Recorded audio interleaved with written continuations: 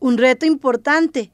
En la Dirección Regional del Ministerio de Educación Pública de Pérez León en este 2024 tienen una meta importante, es disminuir la exclusión que se presenta y se encuentra por encima de la media nacional. De acuerdo con la directora regional Marcela Valverde, se encuentran haciendo un gran trabajo en este tema.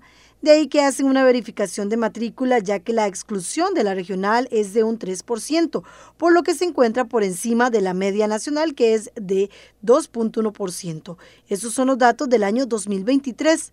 La funcionaria afirma que este es un reto importante por lo que se tiene una estrategia con el equipo de permanencia para dar seguimiento. Estamos trabajando también con, conjunto con los supervisores a realizar una buena verificación de matrícula en los centros educativos, ¿verdad? Para eh, atender un reto que tenemos como dirección regional, que es disminuir la exclusión. Para el 2023 tuvimos...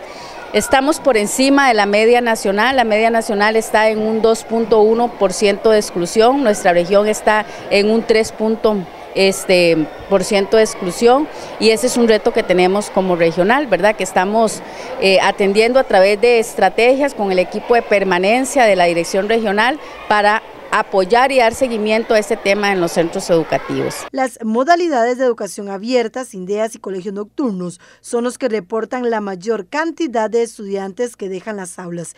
Esto representa un 33.2% del total, es decir, una cifra alta.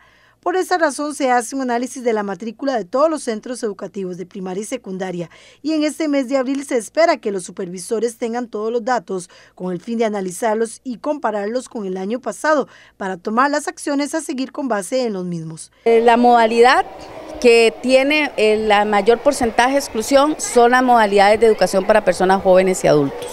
Entonces son las que estamos dándole mucha atención eh, proyectos de educación abierta, los INDEAS, este, liceos nocturnos, que se haga una buena verificación de matrícula, eh, proyectos de educación abierta para la primera semana de abril tenemos la verificación y ya este mes en abril hacer un análisis con las personas supervisoras, ¿verdad?, de cuál fue esa matrícula que tuvimos, hacer la comparación con el año pasado y ponerle atención, ¿verdad? Como le digo, sobre toda la modalidad, porque ya si cogemos solo la modalidad de educación de adultos, el porcentaje de exclusión fue de un 33,2%.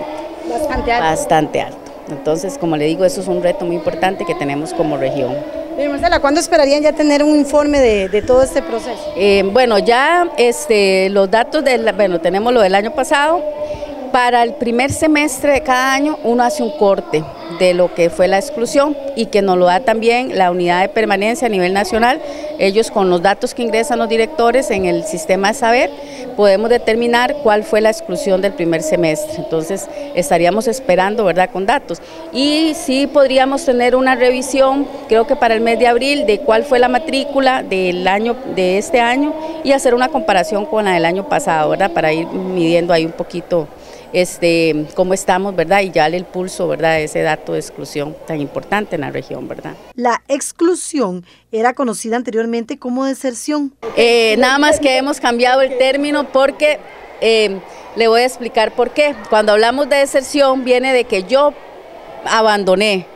Cuando hablamos de exclusión se hace un análisis más integral de cuáles son aquellos factores eh, que, son, que ponen a la población estudiantil de forma vulnerable y que llegan a, salirse del sistema. Por eso hay, hace años atrás se cambia el término de eh, exclusión, deserción, perdón, por el de exclusión, ¿verdad? Que no, deserción es más, yo me fui, exclusión es, todos somos responsables de atender los factores que conllevan a que el estudiante abandone el sistema. Con el informe que se espera tener este mes, se hará un análisis y se tomarán las acciones correspondientes con el fin de disminuir la exclusión educativa.